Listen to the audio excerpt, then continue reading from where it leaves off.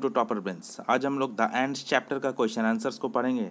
तो सबसे पहले हम लोग एमसीक्यू को करेंगे। What did the little black ant find वो जो छोटा ब्लैक एंड था, उसको क्या मिल गया था? तो उसको क्या मिला था? लार्ज ग्रेन ऑफ़ व्हीट गेहूँ का एक बहुत बड़ा सा अनाज का दाना उसको मिल गया था। चैप्टर आप लोगों ने एक्सप्लेनेशन नहीं देखा है तो एक्सप्लेनेशन ज़रूर देखिए प्लेलिस्ट में। मैं डिस्क्रिप्शन में भी लिंक प्रोवाइड कर दूँगा और ऊपर आई बटन पे भी उसका लिंक आएगा। आप क्लिक करके देख सकते हैं। The little black ant could not move the grain of wheat because जो छोटा एंड था, वो ग्रेन को मूव नहीं कर पा रहा था क्योंकि इट वॉज़ टू हैवी क्योंकि वो बहुत हैवी था, बहुत भारी था। The neighbour did not help the little ant because neighbour ant जो था, वो उस छोटे एंड को क्यों हेल्प नहीं किया था?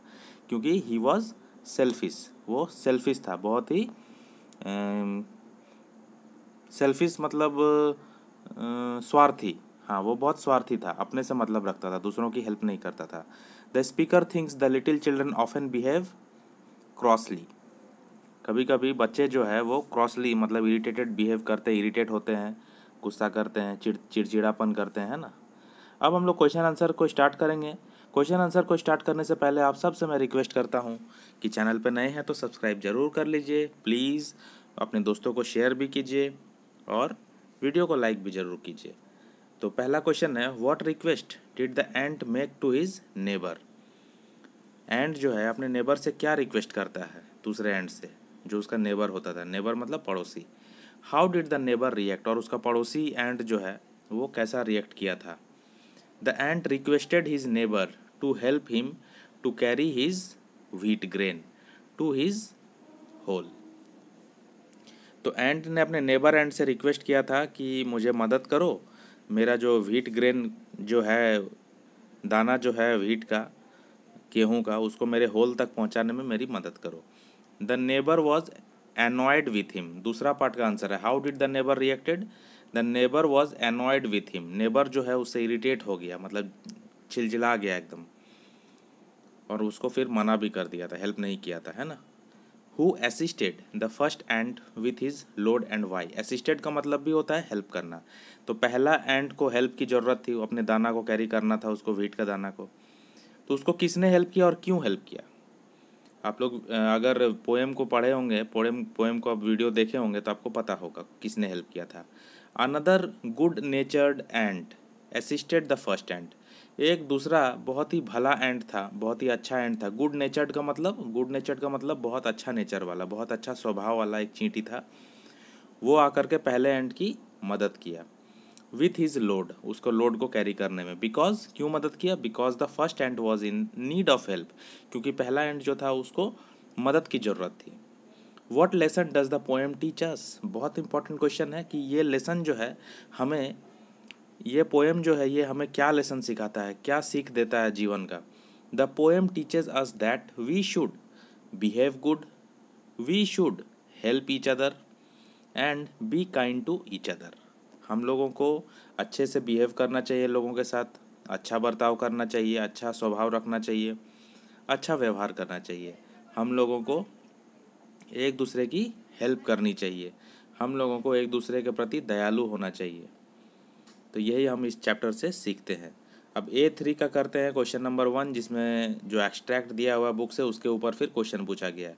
You must shift yourself if you please तुम खुद से ही ये जो लोड है, ये जो अनाज का दाना है, उसको शिफ्ट कर लो, अगर तुम कर सकते हो तो प्लीज़ तो ये किसने कहा था? Who said this ant to whom ये किसने किससे कहा? हु सेट दिस तो नेबर एंड ने ये कहा था द नेबर एंड जो पड़ोसी एंड था जिससे मदद मांगा गया था वो ये बात कह रहा है पहला एंड को कि भाई तुम खुद ही अपना जो लोड है वीट का ग्रेन है जो मिला तुमको, वो खुद ही तुम शिफ्ट कर लो, खुद ही पहुँचा लो अपने होल तक।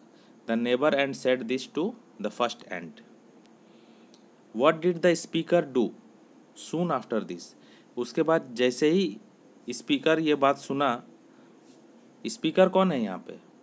इस लाइन के अकॉर्डिंग स्पीकर कौन है? इस लाइन के अकॉर्डिंग इस लाइन के अकॉर्डिंग स्पीकर जो है वो नेबर एंट है। नेबर एंट नहीं ना ये बात बोला कि अपना ये शिफ्ट कर लो। ये लाइन कौन बोला है? नेबर एंड बोला है तो मीन्स यहाँ पे स्पीकर कौन है? नेबर एंट है। नेबर एंड मतलब पड़ोसी एंट तो यहाँ पे वही बोल रहा है कि स्पीकर जो है वो उसके बाद बोलने के बाद तुरंत क्या किया? The speaker crawled away selfishly and slept ये सेल्फिशली है। S E L F I S H L Y यहाँ पे थोड़ा सा अच्छा से क्लियर नहीं आया, उसके लिए मुझे, मैं माफ़ी चाहता हूँ, ये एफ़ है। सेल्फिशली ठीक है? ये सेल्फिशली स्पीकर जो है, वो रेंगता हुआ चला जाता है वहाँ से सेल्फिश बनते हुए और जा करके सो जाता slept S L E P T ठीक है? S L E P T slept sleep का पास्ट फॉर्म है स्लेप्ट और जाके सो जाता है। Explain the phrase shift yourself ये जो वर्ड बोला, ये जो लाइन बोला था, वो शिफ्ट योर सेल्फ खुद से ही कर लो। इसका मतलब क्या है? इसका मतलब यही है। It means to carry the load by own खुद से अपना लोड को कैरी कर लो। उसके बाद नंबर टू में जो लाइन्स है, वो हम लोग पढ़ते हैं, फिर क्वेश्चन देखेंगे इस पर फॉर ऑफेन ऑफेन का मतलब होता है प्रायः, हमेशा। For often it happens that children appear as cross as the ant every bit कभी कभी ऐसा होता है कि बच्चे जो है, वो वो जो एंड की तरह करते हैं, वो जो एंड ने इरिटेशन दिखाया सेल्फिशनेस दिखाया थोड़ा सा उस तरह से बच्चे भी करते हैं। ये बात किसने कहा? ये बात जो है, ये पोएट ने कहा है। पोएम का सेकंड स्टेंजा में है।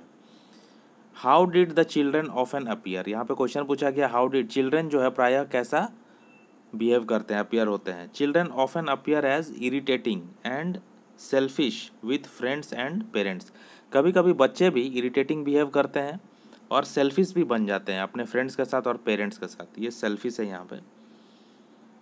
What does the speaker want little children to learn from the ants speaker क्या चाहता है कि लिटिल चिल्ड्रन क्या सीखे इन चीटियों से? चीटियों से बच्चों को क्या सीखना चाहिए? ये स्पीकर स्पीकर क्या कहना चाहता है इस पर the little children should learn to help each other little children को क्या सीखना चाहिए? दूसरों की मदद करना सीखना चाहिए इन चीटियों से। Is the speaker giving a good advice to the children क्या स्पीकर अच्छा एडवाइस अच्छा सलाह दे रहा है सबको, बच्चों को? Yes the speaker giving a good advice to the children speaker जो है वो बच्चों को अच्छी सलाह दे रहा है। इसके बाद है थिंक एंड आंसर पहला क्वेश्चन है हाउ कैन वी प्रॉफिट और benefit from being kind to each other एक दूसरे के साथ दयालु बन के हम लोग कैसे फ़ायदा कर सकते हैं? कैसे बेनिफिट लाभ पा सकते हैं? Being kind and helpful being kind and helpful to each other can always profit और benefit to us as we can fulfil our need by being kind and helpful just like the good natured ant हम लोग दयालु बन के और मददगार बन के हेल्पफुल बन कर के एक दूसरे को फ़ायदा पहुँचा सकते हैं। क्योंकि ऐसा करने से हम लोग अपना काम को, हम लोग अपना ज़रूरत को पूरा करते हैं। हम आपका हेल्प करते हैं, आप मेरा हेल्प करते हो। हम लोग एक दूसरे का हेल्प करके अपना ज़रूरत को पूरा करते हैं। ठीक उसी तरह से, जिस तरह से वो गुड नेचर्ड एंड जो बाद में आया था, वो पहले वाले एंड का मदद किया था। Was the second ant really busy क्या जो वो दूसरा एंड था, वो सच में बिज़ी था क्या? जो ऐसे ही मुँह बना करके चला गया, गुस्सा करके चला गया और उसको हेल्प भी नहीं किया। No the second ant was not busy the ant was irritated and denied to help the first ant second ant जो था नेबर एंड वो बिज़ी नहीं था और वो क्या किया? वो इरीटेटेड था। द एंड वॉज़ इरीटेटेड वो इरीटेटेड हो गया, ठीक है?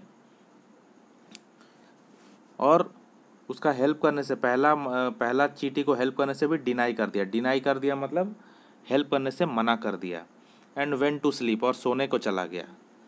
Actually he did not wanted to help the first ant सच में तो वो, सच बात यह है कि वो जो पहला नेबर एंड है वो पहला एंड को हेल्प करना ही नहीं चाहता था।